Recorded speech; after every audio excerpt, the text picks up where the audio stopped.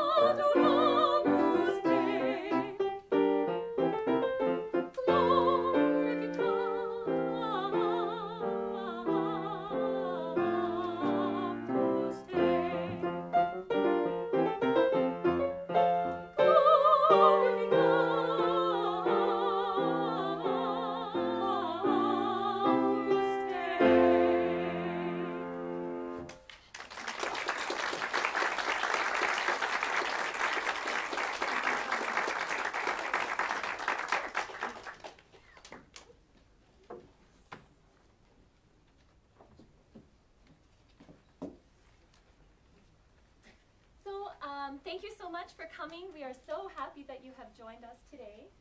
Yes, thank you, um, Cheryl, and for the Red Deer Library, uh, the Snow First Thursday. We're honored to be here today, and we're honored to have Vernon as our accompanist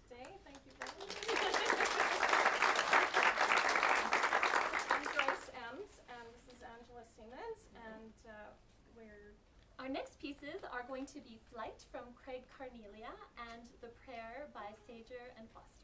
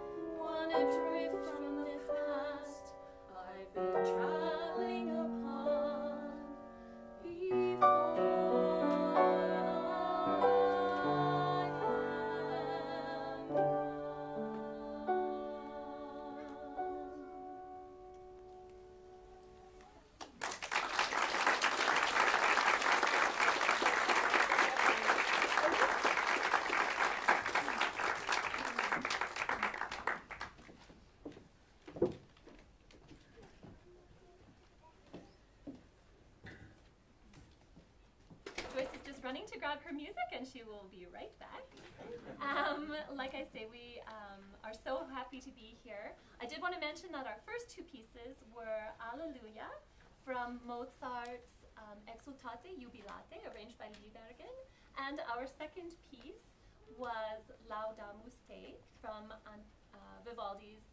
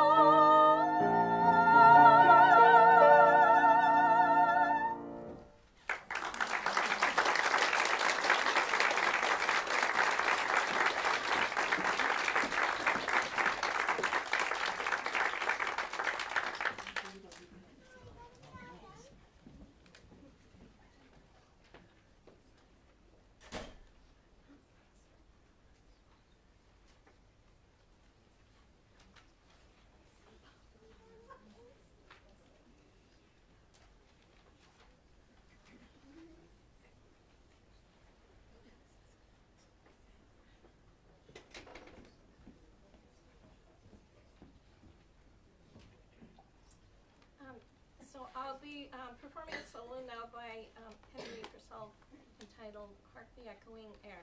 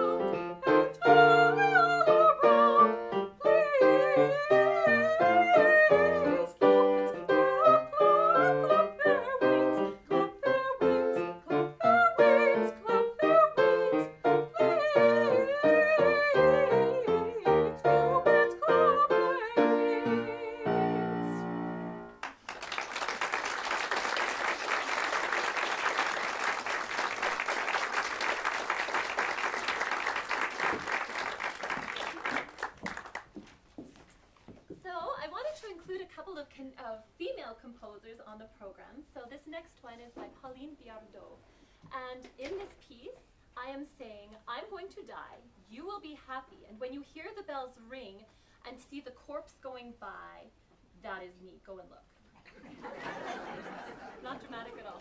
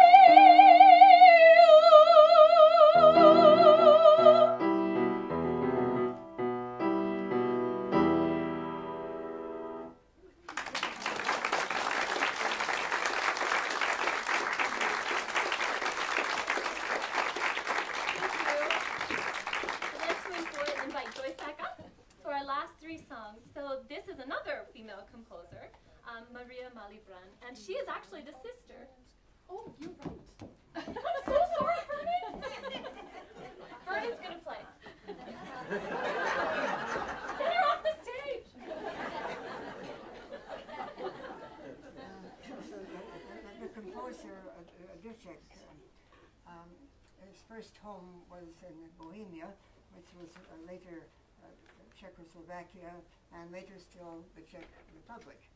And he was about halfway in age between Mozart and Beethoven, and his music contains uh, characteristics of, of both of them. And it was also uh, associated with, uh, with sons of Bach. Uh, uh, J.S. Bach's uh, third son, uh, Carl Philipp Emanuel Bach, uh, was a great encouragement uh, to the young Dussek. Um, C.P.E. Bach was in, in his 70s at that time. Uh, he, he was a very good encouragement to Dussek. Um, I- I always liked the, the six sonatinas of Dussek, and I, I, I played them all at a very early age, but I especially liked uh, number four.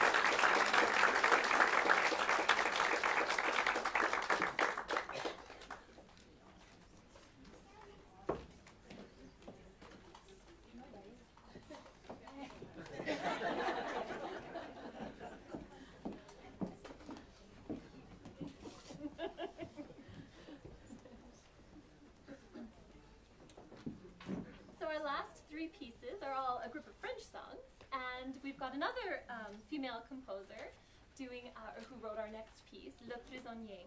And in this piece, we are singing about a prisoner who is in his cell, and every day he looks out through um, the bars of his cell and sees a girl, a beautiful girl, floating by, and he looks forward to seeing her every day as much as he looks forward to his freedom.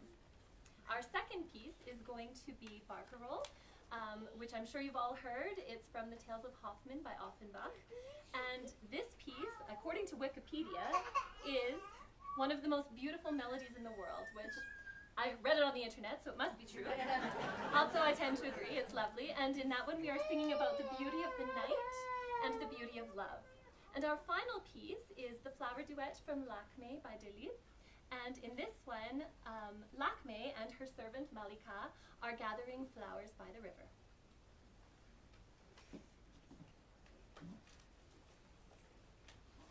Le